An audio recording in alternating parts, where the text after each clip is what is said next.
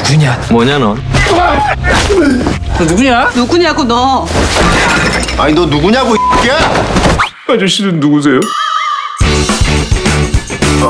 학생. 정신이 좀 들 학생? 왜 이것들이 다 학생이래? 아빠야 아빠. 당신 아들이 아니라고 몇 번을 말해. 에이 고삐들 맞을래? 기억이 날까? 이 내가 맞는 걸 싫어해서 반드시 돌아간다. 절대로 돌아가시면 안 되죠. 군대 다시 가시는 게 좀 걸리긴 하지만.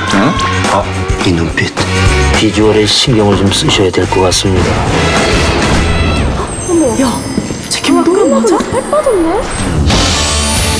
그 말을 믿으라고? 당신 배꼽 옆에 복숭아 모양의 작은 반점이 있어. 괜찮다면 조금 더 은밀한 부위를 얘기해도 될까? 나랑 사귀자. 야! 네 엄마를 사랑한다. 미친. 어차피 우리 불륜이야. 벌써 둘이 혼인 신고까지 한 거야? 몸을 훔쳤어 도둑이야 경찰에 신고해 119 112 어이 덩어리들 놀러 와봐. 네가 와라. 개 멋있어.